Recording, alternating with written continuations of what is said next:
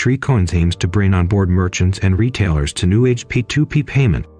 Shree a New Age FinTech offers payment solution to retailers and merchants. Shree is one such New Age FinTech player that is emerging fast as a payment solution provider for small-scale retailers and merchants. The government-backed UPI has accelerated it further to a level that even the small shopkeepers are accepting digital payments without any worries about the technical complexities that credit goes to the QR-based payments or simply QR codes. Looking at the success stories of fintech firms like PhonePe, BharatPe, and Paytm, wherein within a few years they instilled the habits of digital payments among the common people, the task of repeating something similar with crypto doesn't seem very daunting such a payment platform that can only act as a bridge rather than an intermediary in the whole payment ecosystem will accelerate the scale of the blockchain-based digital currencies and take them to mass adoption. With a vision to create a peer-to-peer direct payment experience, it is meant to bolster the popular retail payment system involving scan and pay method with further additions in subsequent stages. Visit us, Shree Live